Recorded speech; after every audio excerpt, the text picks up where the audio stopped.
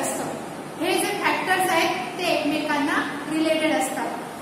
so we discuss which are those elements first first one is theme okay elements of novel or novella there are six elements essential of novel or novella या elements मध्ये six elements जे essential okay all these factors may be related in in the by by any author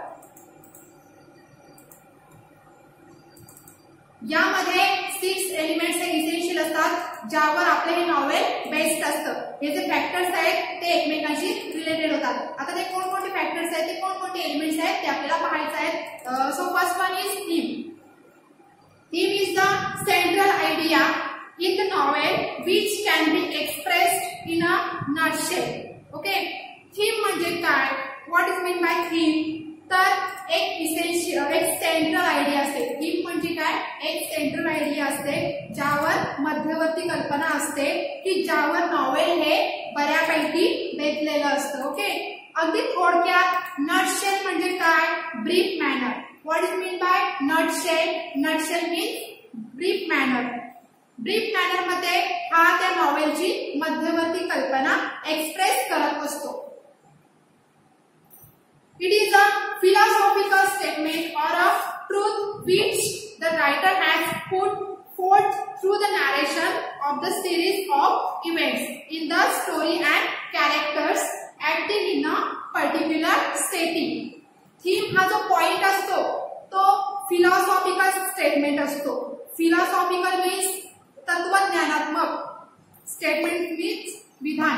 तत्वज्ञानात्मक विधान असतं किंवा असं सत्य असतं की जे रायटरला त्या लेखकाला वाचकांच्या पुढे put forth put forth means त्यांच्यासमोर ठेवायचं असतं.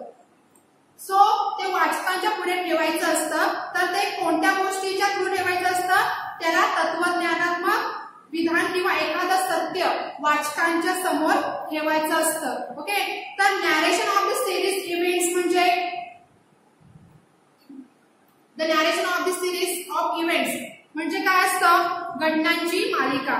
ओके घटनांच्या मालिकेचं कथन करून कोणत्या फॉर्ममध्ये त्या स्टोरी आणि कथा त्याचबरोबर कॅरेक्टर्स म्हणजे पात्रांचा वापर करून कथेचा वापर करून घटना या योग्य प्रमाणे त्याची मालिका करून ते पर्टिक्युलर सेटिंगमध्ये बसवून म्हणजे ठराविक अशा प्लेसचा प्लेसचा ठिकाणाचा वापर करून ती कथा ते सत्य त्या लोकांच्या समोर म्हणजे त्या ते सत्य त्या लेखकांच्या पुढे त्या वाचकांच्या पुढे त्या लेखकांना एक्सप्रेस करायचं असतं. ओके ती सेंट्रल आयडिया म्हणजे ती मध्यवर्ती कल्पना त्याला आपण थीम म्हणतो. Okay so next part is plot what is mean by plot plot is a essential story or the course of events that make up the theme plot काय असतो?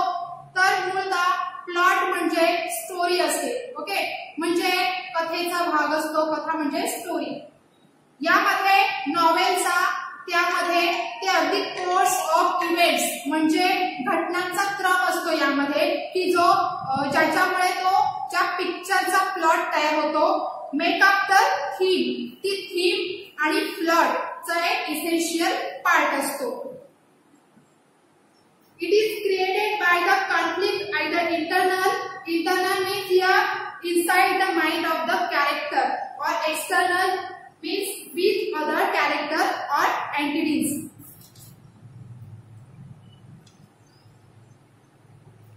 okay म्हणजे हा जो प्लॉट असतो तो स्टोरी कथाभाग असतो ओके तर तो कशा पद्धतीने त्या नॉवेलिस्टने क्रिएट केलेला असतो तर तो प्लॉट दाखवण्यासाठी किंवा ती स्टोरी ती थीम दाखवण्यासाठी रायटरने कॉन्फ्लिक्ट क्रिएट केलेलं असतं ज्यामध्ये कॉन्फ्लिक्ट मी संघर्ष दाखवलेला असतो आणि त्याचप्रमाणे यामध्ये हा संघर्ष कोणामध्ये असतो? तर हा संघर्ष दोन प्रकारे असतो. तो म्हणजे आयदर कोणामध्ये असतो?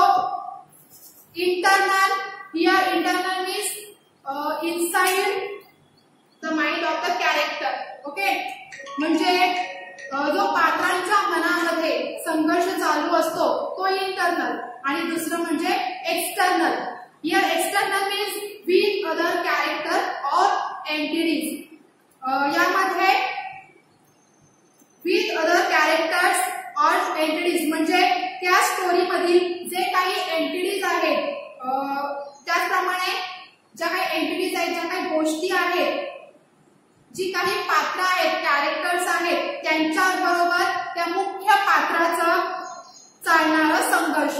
ओके? अशा प्रकारे हे अनफ्लिक हे स्टोरीमध्ये किंवा त्या नॉवेलमध्ये दाखवलेलं असतं okay so plot may be simple Yes, simple means one plot or complex. Complex means consisting the interweave of many subplots. Okay. So plot may be simple one plot.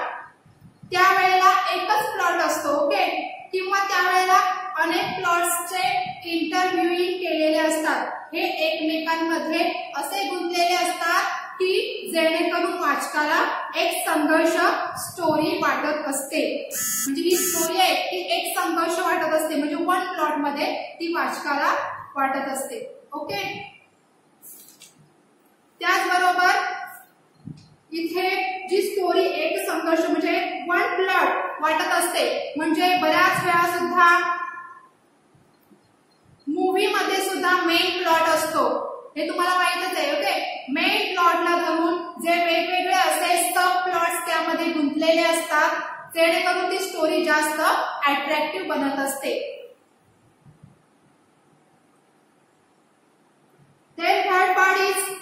Character what is mean by character characterization is related character? Char uh, characterization is related to the plot as the course of events take place because of the certain behavior of the character. Okay, characterization म्हणजे काय असतं characterisation म्हणजे काय असतं त्यामध्ये related related to the plot ते सध्या ते त्या प्लॉटशी रिलेटेड असतं त्या कथाभागाशी रिलेटेड असतं आणि त्याचबरोबर द कोर्स इव्हेंट म्हणजे घटनांचा क्रम त्यामध्ये सांगितलेला असतो okay take place because of the creation behavior of the characters म्हणजे काय? त्यामध्ये जे मेन पात्र असतं ते मेन पात्र त्याचं बिहेवियर त्याचं जे वागणं असतं त्यामुळे त्या घटना घडत असतात. ओके तो त्या नॉवेल मधले म्हणजे त्या स्टोरी मधले जे कॅरेक्टर्स आहेत त्या कॅरेक्टर्सचे वर्तन हे इंटरडिपेंडंट असतं. आणि त्यामुळे स्टोरी ही पुढे घडत असते. सो कॅरेक्टरायझेशन हा इम्पॉर्टंट पार्ट आपल्या नॉवेलचा असतो. Depiction of character can range from a thumbnail sketch to deep, wordy, highly detailed verbal sketch. Okay. कॅरेक्टरचे जे डिपिक्शन असतं ते रेंज फ्रॉममध्ये व थंबनेल स्केच असतं या थंबनेल स्केच म्हणजे काय तर शॉर्ट डिस्क्रिप्शन ऑफ कॅरेक्टर म्हणजे त्या कॅरेक्टरचं शॉर्ट त्या कॅरेक्टरचं शॉर्ट डिस्क्रिप्शन थोडक्यात वर्णन त्या ठिकाणी आपल्याला पाहायला मिळू शकतं. Okay to deep wordy highly detail verbal sketch verbal sketch means description of a character in words म्हणजे शब्दशः तपशीलवार शाब्दिक रेखाचित्रण त्या ठिकाणी त्या नॉवेलमध्ये त्या कॅरेक्टरसाठी केलेलं असतं. वर्डी मीन्स शब्दशः. अगदी तीन बॅनरमध्ये ते आपल्याला शब्दशः कळावे यासाठी त्याचं वर्बल स्केच शाब्दिक रेखाचित्रण तपशीलवार पद्धतीने रायटरने केलेलं असतं The important character may have been described in its every aspect by the writer. जे मेन कॅरेक्टर असतं ते रायटरकडून बऱ्यापैकी चांगल्या प्रकारे ऍस्पेक्टच्या थ्रू डिस्क्राईब केलेलं असतं the minor characters are not give much importance कॅरेक्टरच्या मध्ये सुद्धा दोन प्रकार पडतात. ओके फर्स्ट म्हणजे first is major character and second is main character जे मेजर कॅरेक्टर असतात ते मेन कॅरेक्टर असतात. नॉवेलचे प्रोटॅगनिस्ट असतात. ओके ज्याच्या ही स्टोरी गुंतलेली असते जी इतर त्यांना हेल्प करणारे मायनर कॅरेक्टर्स असतात. ते फारसे महत्त्वाचे नसतात. त्यामुळे त्याला कमी महत्त्व दिले गेलेलं असतं The reader follows the actions of one main character throughout the novel. जो वाचक असतो तो मेन कॅरेक्टरच्या सर्व ऍक्शन्सना फॉलो करत असतो ओके जो वाचक असतो तो मेन कॅरेक्टरच्या सर्व ऍक्शन्सना फॉलो करत कॅरेक्टरच्या थ्रू त्याला मेन कॅरेक्टर कळत असतो. This character is referred to as the protagonist so त्या मेन कॅरेक्टरला प्रोटॅगनिस्ट म्हटलं जातं. Okay protagonist means main character is in conflict with a character or an entity or a force internal or external which is known as antagonist here protagonist means main character okay so हा जो protagonist आहे म्हणजे हा जो main character असतो त्याचा त्या story मध्ये म्हणजे त्या नॉवेल मध्ये त्याचा संघर्ष दाखवलेला असतो तर तो संघर्ष कोणाबरोबर असतो तर तो एक कॅरेक्टर बरोबर असतो काही गोष्टींबरोबर असतो किंवा इंटरनल किंवा एक्सटर्नल असा फोर्स असतो ज्याला म्हटलेला आहे ऍस्टोगनिस्ट ओके? त्याचप्रमाणे आता इथे ऍस्टोगनिस्टचा मिनिंग आपण पाहिलेला आहे. म्हणजे बऱ्याचदा मूवीमध्ये किंवा नॉवेलमध्ये मेन कॅरेक्टर आणि त्याला अपोज करणारी जी व्यक्ती असते त्याला विलन्स कॅरेक्टर असं म्हणतात. ओके? तर ते इंटरनल किंवा एक्सटर्नल फोर्स अशामध्ये असतात. त्याचप्रमाणे नॅचरल कलॅमिटी नॅचरल कलॅमिटी असतात. सो या गोष्टी म्हणजे बऱ्यापैकी कंप्लीटचं काम या ठिकाणी संघर्ष निर्माण करण्यासाठी मदत करणारे घटक ठरू शकतात. Okay so next point is setting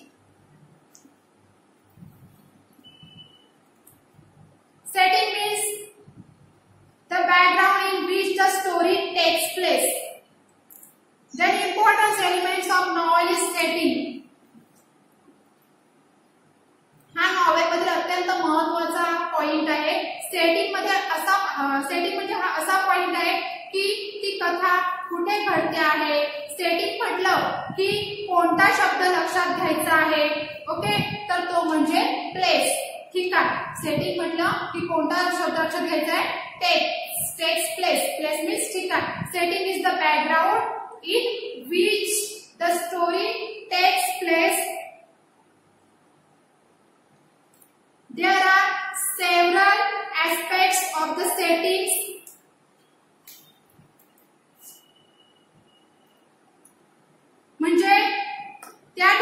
story घडते आहे, तिथे एखादा ठिकाणी जी स्टोरी घडते तो बंगलो असेल किंवा एखादा फार्म हाऊस असेल किंवा एखादा रोड असेल कुठेही वेळेवर ज्या ठिकाणी स्टोरी टेक प्लेस म्हणजे त्या ठिकाणी जी स्टोरी घडते ते ठिकाण म्हणजे setting okay there are several aspects of the settings त्यामध्ये या सेटिंगच्या बाबतीत सुद्धा अनेक ऍस्पेक्ट्स असतात. त्यामध्ये काय इन्क्लूड होत असतं? Place time climate or weather and lifestyle It includes place period, time, climate uh, or weather and lifestyle या सेटिंगमध्ये अशा प्रकारचे अशा प्रकारच्या घटकांचा संबंध निर्माण होतो. ते म्हणजे कोणते आहेत it includes place period time climate or weather and lifestyle plot and character are the two major elements that are affected due to setting. Okay. या प्लॉट आणि कॅरेक्टर या दोन गोष्टी बऱ्यापैकी अफेक्ट होत असतात कशामध्ये या सेटिंग मध्ये okay next element is conflict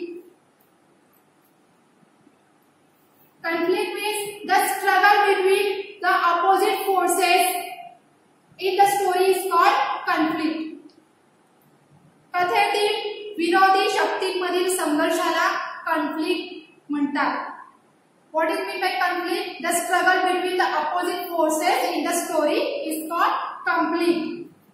कथेतील म्हणजे स्टोरी मधील ज्या विरोधी शक्तींमध्ये संघर्ष असतात त्यांना कॉन्फ्लिक्ट असं म्हणतात कॉन्फ्लिक्ट म्हणजे संघर्ष असं म्हणतात okay conflict in the story provides interest and curiosity about the plot इथे कथेतील संघर्ष हा प्लॉट्समध्ये रस आणि उत्सुकता प्रदान करतो ओके हिअर इंटरेस्ट मीन्स रस क्युरिओसिटी मीन्स उत्सुकता हा या कथेमध्ये जो संघर्ष आहे तो प्लॉटमध्ये रस किंवा उत्सुकता प्रदान करत असतो ओके सो त्या स्टोरीमध्ये आणखी पुढे काय घडेल याची उत्सुकता वाढवत असतो conflict in the story provides interest and curiosity about the plot अशा प्रकारे आपल्या स्टोरीमध्ये पुढे काय घडणार आहे याबद्दलचा जो इंटरेस्ट आहे तो पुढे वाढवण्याचं काम करतो okay so next point is next element is languages or style.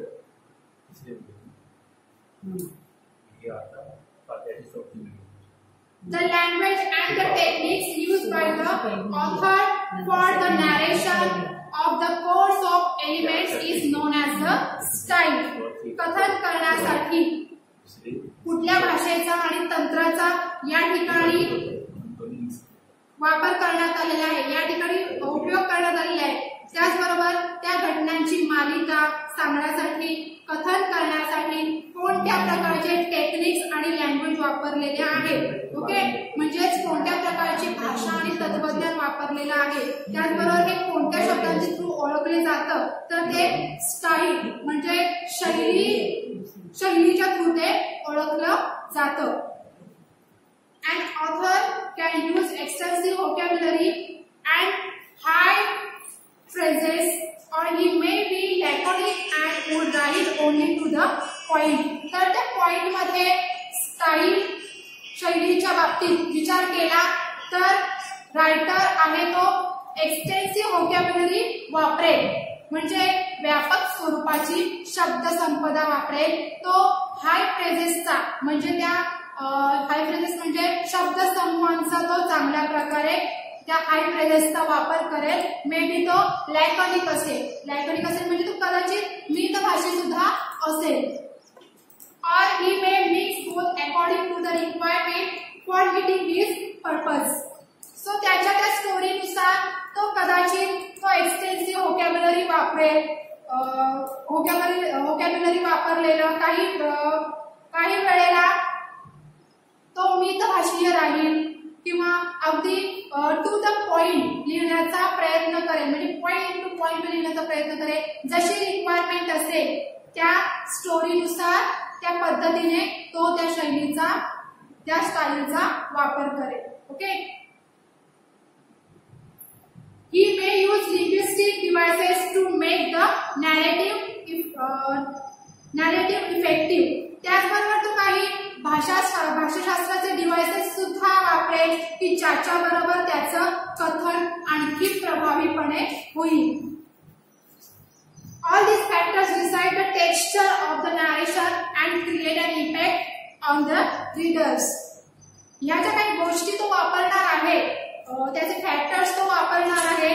त्यामुळे त्या नॅरेशनचं त्या कथनाचं टेक्स्चर ठरणार आहे. त्याचा जो एक टेक्स्चर म्हणजे बोध तो कशा प्रकारे ते नॅरेशन घडणार आहे हे त्या त्याच्या शैलीनुसार ठरत जाणार आहे. हे त्याच्या इम्पॅक्ट हा जो त्याचा इम्पॅक्ट आहे त्याने कुठल्या प्रकारचा टेक्स्चर कुठल्या प्रकारच्या टेक्निक्स वापरलेल्या आहेत? कशा प्रकारची लँग्वेज यूज केलेली आहे? कुठल्या प्रकारचे लिंग्विस्टिक डिव्हायसेस वापरलेले आहेत? या गोष्टींचा इम्पॅक्ट या ठिकाणी वाचकावर होणार आहे. Okay so students this is our third part the rest we will see in the next video thank you